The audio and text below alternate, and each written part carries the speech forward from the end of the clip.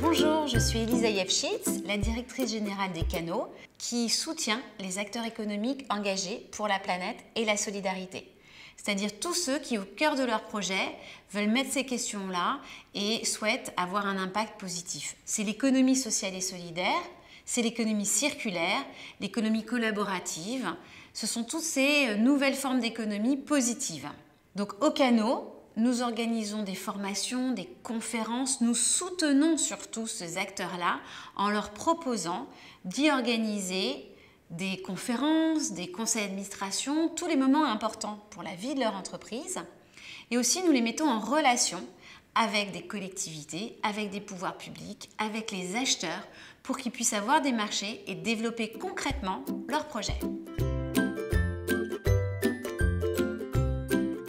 La Maison des Canaux est située dans le 19e arrondissement, au bord du canal de l'Ourcq.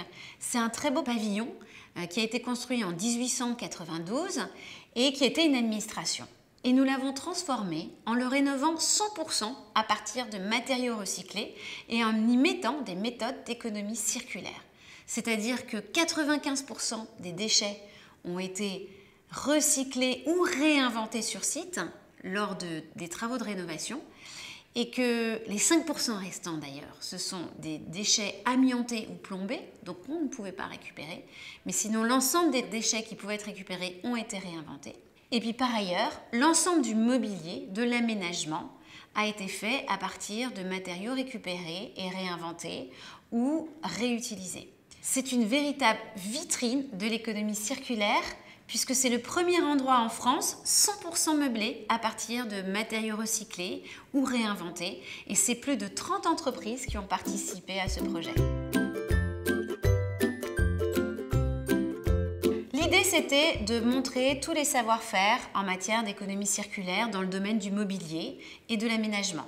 Donc euh, on a euh, parlé à l'un, à l'autre, et finalement il y a un grand esprit de solidarité qui s'est mis, de, mobilisation. Chacun a parlé d'un autre producteur, d'un autre créateur, d'un autre artiste qui pouvait participer au projet. Et c'est comme ça que l'ensemble des acteurs se sont mis autour de cette maison et on en fait une sorte de petit joyau euh, parce que chacun y a mis le meilleur de ce qu'il savait faire pour pouvoir montrer justement notre savoir-faire.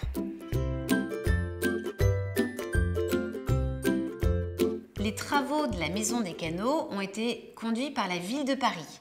C'est la direction du logement et de l'habitat qui en a eu la maîtrise d'ouvrage. Très vite, un comité de pilotage a été constitué avec les experts français de l'économie circulaire. L'idée était de faire de ce projet réellement un lieu d'apprentissage, de formation et surtout de recherche en matière de rénovation en économie circulaire. L'idée était de construire des méthodologies et des méthodes qui seraient reproductibles sur d'autres chantiers de la ville, mais aussi sur d'autres chantiers au niveau français. Il y avait vraiment cette volonté de produire du contenu et des méthodologies à destination des autres et du secteur de la construction en général.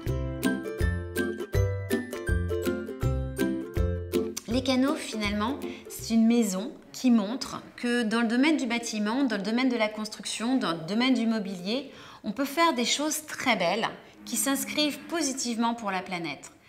Vraiment, l'idée, c'est de rassembler le design, rassembler le savoir-faire du bâtiment, mais de mettre l'économie circulaire au cœur de cette démarche. Et on a besoin de voir, on a besoin de voir que ce lieu est beau, qu'on peut y vivre. L'année dernière, 60 000 personnes sont passées au canot et ont pu découvrir que c'était possible, qu'il était possible de vivre dans un monde où les bâtiments ont un impact positif. Parce que notre savoir-faire, c'est de rapprocher l'excellence des savoir-faire français avec cette démarche à impact positif sur la planète et sur l'environnement. Et ça, c'est ce que les canaux montrent. Et puis au travers ça, ça lance des démarches, ça soutient des acteurs. Au-delà de ces, de, ces 30 entreprises qui ont beaucoup de succès et qui aujourd'hui euh, peuvent développer leur entreprise parce qu'ils vendent très bien leurs produits, nous accompagnons 15 nouveaux producteurs de mobilier Et puis au-delà de ces 15, on ira encore plus loin. Et puis au-delà de ces 15, c'est tout un secteur et toute une filière qu'il faut construire, qu'il faut renforcer, pour lequel il faut donner des outils, des méthodes, des normes, des règles qui permettront que cette économie circulaire prenne une place de plus importante, voire majoritaire, voire prédominante, et pourquoi pas toute la production soit organisée en économie circulaire. C'est pas une utopie, c'est quelque chose qui est devant nous et sur lequel on veut aller.